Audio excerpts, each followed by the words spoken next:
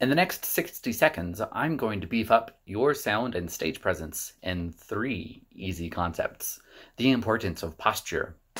Hello, I'm Chris from I Sogni Musicali, and if you want to learn more about playing violin or viola, make sure to follow me. I make videos every day. Why does my posture matter?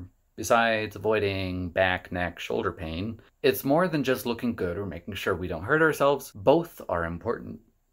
Playing with good posture can both dramatize and help us to perform even better. Playing music is full of contradictions. Relax, but be firm. Stand up straight, but loosen your shoulders. No, seriously, loosen your shoulders. Right now, like you, right now, loosen your shoulders. Here are three steps to make violin or viola playing a little bit less strenuous and confusing. First, lay down flat with your back on the floor with your instrument. Play some scales like this to get used to the feeling of straightening out. Second, standing up, imagine your body is hanging from your head, but your feet are firmly rooted in the floor like a tree.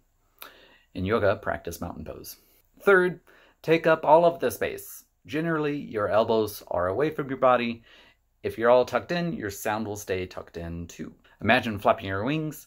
Don't get too crazy though. If you enjoyed this video, go and grab my free guide. Click on the link to get it.